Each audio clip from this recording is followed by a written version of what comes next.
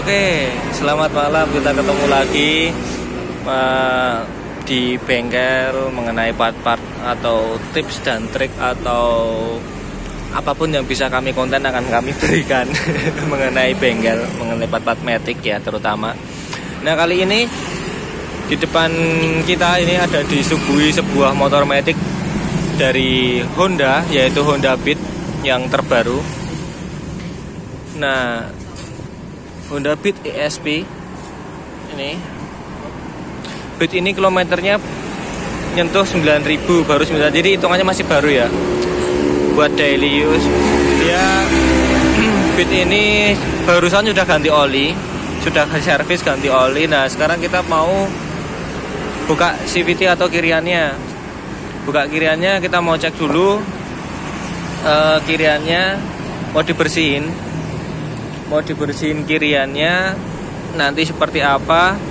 Nah ini ada ada sedikit tutorial dari bukan tutorial sih kita sharing aja bagi yang pengen buka kirian atau apa namanya CVT dari Honda Beat ESP ini hati-hati jangan asal oke. Ini kelihatannya semuanya bautnya udah dilepas ya misalnya terus dicongkel. Nah ini jangan. Karena ada satu baut yang menyelinap. Gitu.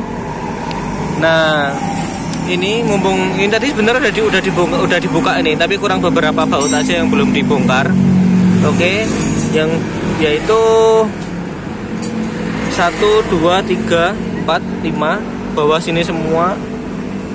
Nanti ada lagi dia nyelinap di dalam sini jadi semisal teman-teman bongkar ini semua udah kebongkar terus di dicongkel gitu dia udah udah kebuka misalnya terus dipaksa nanti bisa patah yang sini.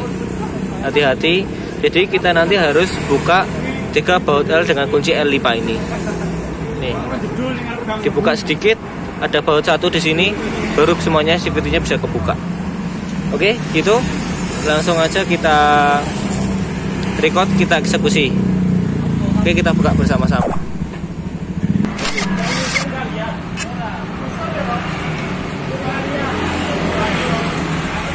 Oke ini semuanya udah kebuka bautnya tapi karena kita ya pasang tinggal satu aja untuk tunjukin. Nah ini L pakai L5 tiga bautnya dibuka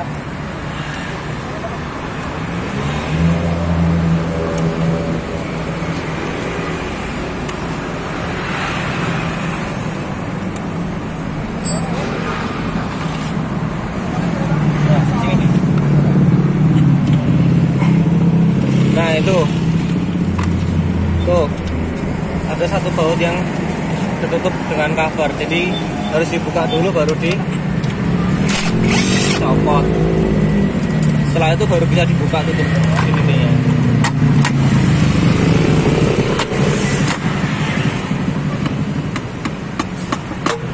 Nah nah ini mungkin kemungkinan motor ini baru sekali ini dibongkar ya. Tuh bisa teman-teman lihat masih bener masih bersih tapi tuh soalnya kilometernya juga baru 9000 masih di tuh. Nanti kita bersihin. Ini normal ya debu dari kampas. Karena baru sekali dibongkar dari beli itu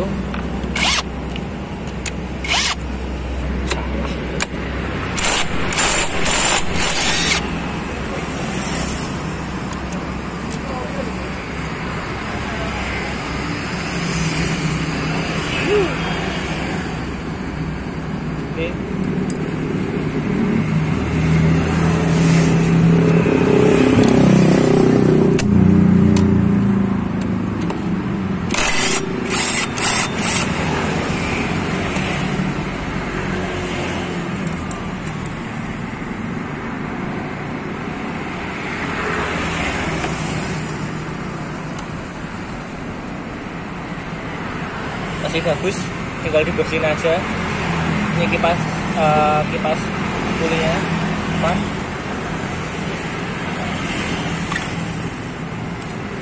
ini fan nya masih bagus juga. Mobil masih bagus. Tinggal kemungkinan servis yang akan datang dia ganti kampas karena udah tipis kampas udah tipis. Tetapi debu ya nanti kita bersihkan.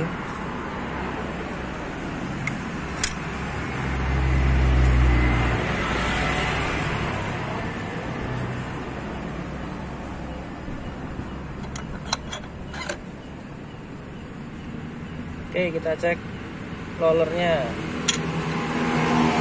Wah. Leduk bosku ini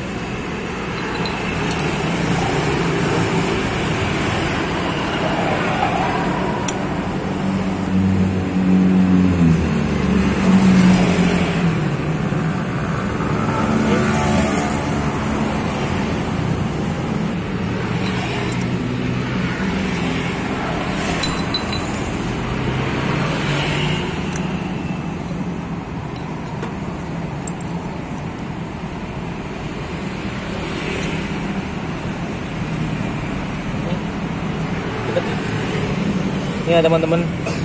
Ini baru pertama kali ini dibongkar. Ini kita nanti bersihkan juga. Tuh. tapi sil-silnya masih aman semua. Silnya masih aman, sil depan masih aman. Tinggal kita cleaning aja. Oke? Kita lanjut cleaning dulu. Nah ini teman-teman kita lanjut ya 9 ini. Kalau di bensin juga bisa. Nanti silakan teman-teman sendiri. Karena ini juga motor minggu gidik kamu mau tak? Nah ini aja. Dilap terus disemprot. Insya Allah udah bersih. Tapi kalau mau lebih sedikit lagi ya silakan. Teman-teman kalau mau servis di saya pakai bensin juga nggak apa-apa.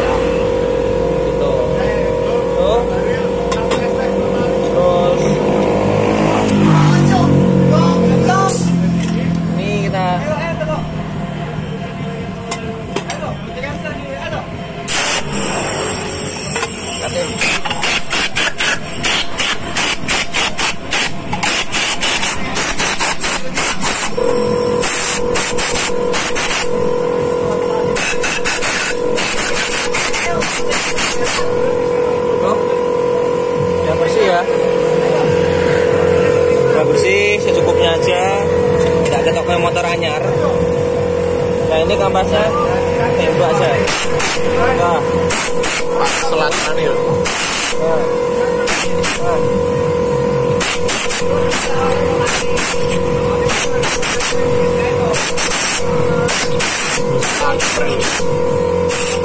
di sini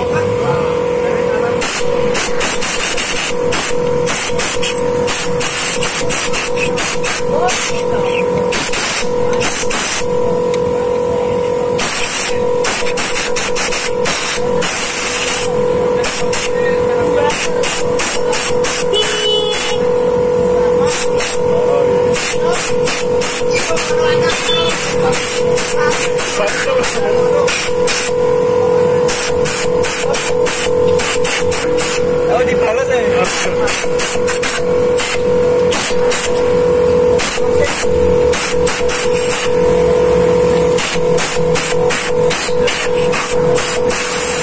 Kalau ingin bersih lagi bisa pakai bensin. Bisa dikasih bensin, silakan. Jangan wae, nah ini dinabi wae. Bersama mekanik baru kita.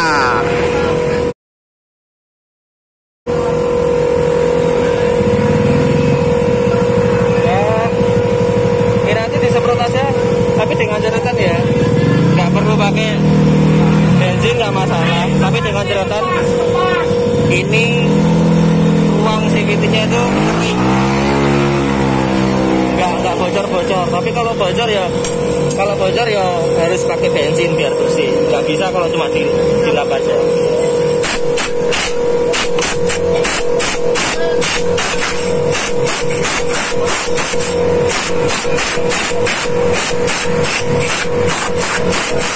semua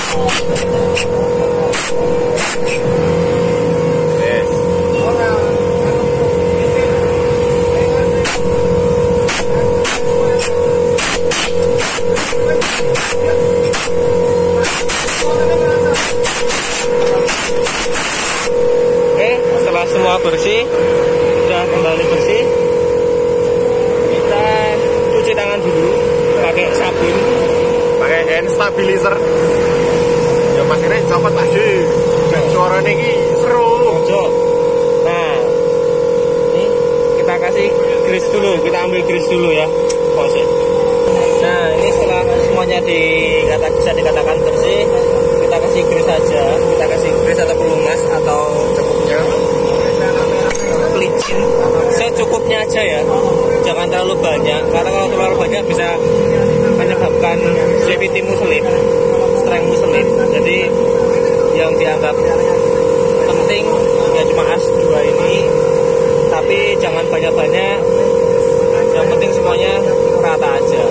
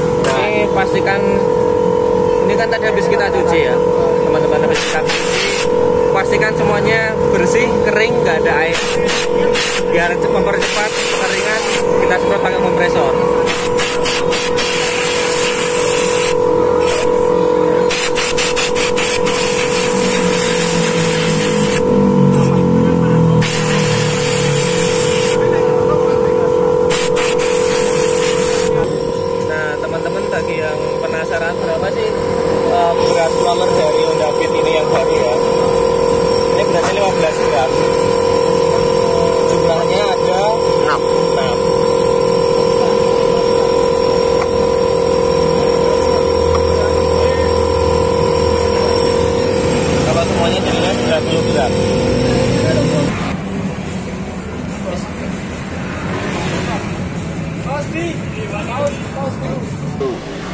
Nah, oke teman-teman setelah kita apa namanya melakukan proses pembersihan tadi kita udah pasang lagi kita tadi juga udah hitung berapa berat gram rollernya ini semuanya masih standar motor harian cuma kita servis saja terus udah kita ketengin juga kulit depan kulit, kulit depan kulit belakang.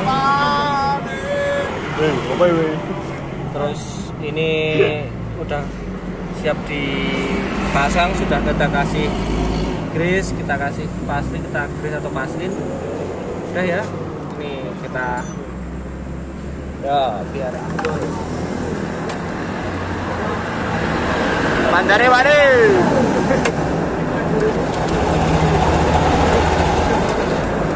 oke semua udah normal udah puter udah normal. Kita langsung pasang aja karena ini motor standar juga nggak perlu cek-cek apa apa pun. Ambil sih Rodono ora banter. Nih nih. Gue kita kira Oke, langsung kita baut.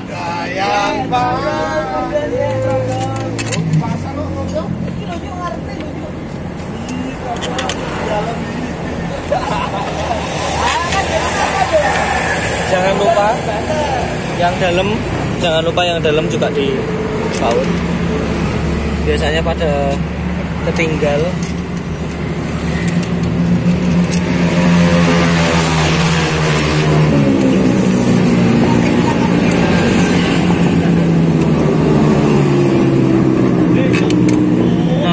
dua baut kecil ya teman-teman beda dari semuanya dia fungsinya untuk penjepit atau muat di selang rem